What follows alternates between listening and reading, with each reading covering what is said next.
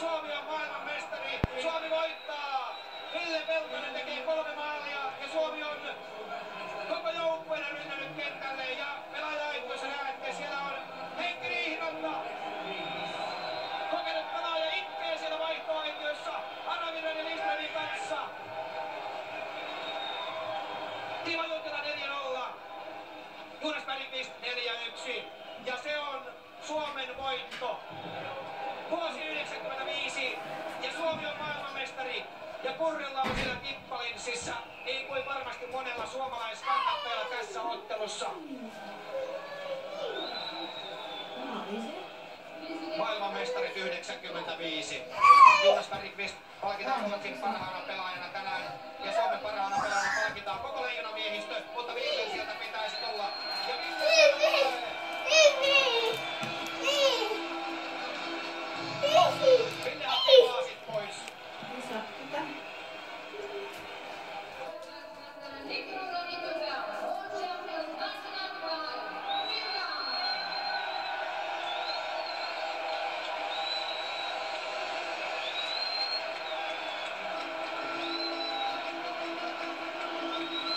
Timo Juntila saa palkinnon itseltään Juan Antonio Samarancilta.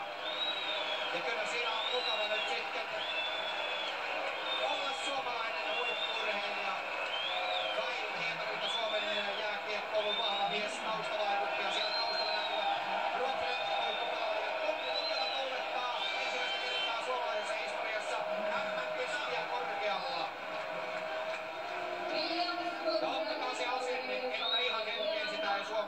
Ja